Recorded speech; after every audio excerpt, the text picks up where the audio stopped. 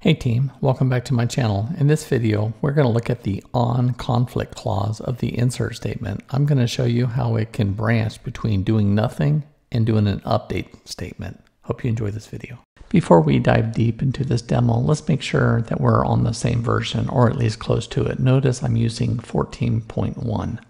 Now I'm going to delete, drop those tables because I've actually done this demo several times, perfecting it just for you. And now I'm going to start with create table site. Imagine page, control, and a counter. Look at this grid. I have a control here, control here, and a control down here. Every time a user clicks on any one of these zones, I want to add it to the counter. So that's what this table is all about. So I'm going to create that table. Perfect. And now I have three different ways of doing the same job and you just need to pick one that resonates best with you. So on the first example, note I'm saying if not exist, and then a select statement. And if it comes back as null, I'm going to do an insert statement. If this does not return null, returns X, then I'm going to keep doing the update. Let's do this statement several times. Uh, I just executed it, and now we should just have the 1. Notice we're at 1. And now when I execute it like three or four more times, you'll see I'll be doing the update statement. So one, two, three, four. So the value should be at 5, right? Excellent. So example 1 done. Now example 2, notice I took out the word not and then I swapped the update and the insert. So in the previous one, insert was up here and update down here. Let's execute this several times as well. This will only ever do lines 38 to 41. One, two, three, four. And let's uh, go and uh, do a select statement here. See what we got.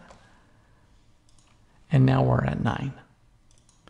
In our last example, notice I say declare half record as record. Record represents an entire row.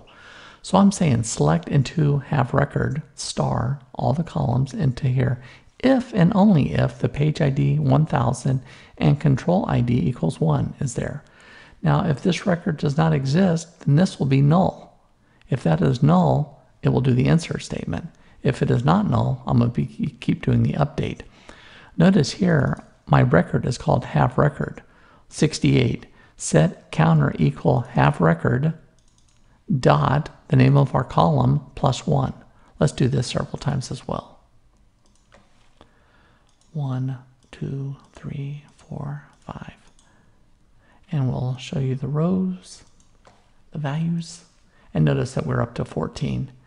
And there you have kind of like the old way of doing things, but we have a lot of control. So this type of technology is still used quite a bit.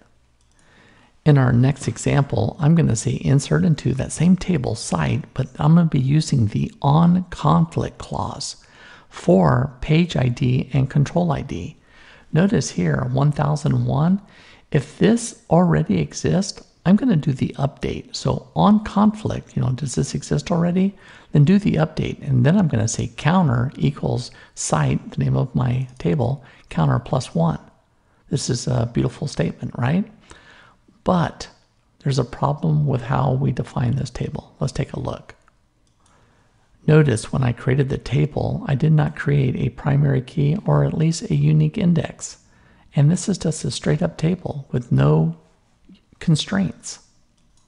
When I execute this statement, you're going to see the error that it will create. Notice there is no unique or exclusion constraint matching the on conflict specification. So if I come down here and say alter table, add a constraint, this is my constraint name, make it unique on these two columns, things should work. So let's go try and do it now. Notice 15, 16, 17, 18. You can see the conflict is true, so I'm going to do the do update, right? And that is example one of on conflict. On my next example, I have to remove all the data. We're kind of going to start over. And we've had to insert many rows into a table. And you'll see here, I'm going to say insert into site values, and then notice we have four rows. If you zoom in on here, you'll notice 1001, 1001, 1 and 1. Ooh, we got dupes. You remember creating a unique index on those two columns, so this will fail. And when I execute this statement, that's exactly what we got. Duplicate key violates unique constraint index unique site. This is the name I came up with. So this is no good. How do we fix this? Notice we say insert into site values. Look, we still have our dupes, but then we use the on conflict for that page ID and control. Notice 1001 1, 1001 1. That's a conflict. What am I saying to do? I'm saying do nothing. So this will be success. This will fail. Fail comes down and does nothing. Then success, success. Let's run this. And there's our input. This right here is very powerful. I wish I had had this a long time ago. And there you have it, team. And there you have the insert on conflict, either do nothing or do an update. Isn't it amazing? Either do an update or do an insert statement. It's a big problem. You know, there's a lot of people working in the loading data into databases. Now data is becoming more and more important. So having this skill is the old feather in the cap. So I recommend you master this skill and uh, make sure you have that feather. And there we have it, team, another video. I appreciate your time, your support, supporting me by watching my videos. Love that. Uh, comments, thumbs up, and subscribing. You're great. I'll see you back in my next video. Have a great week.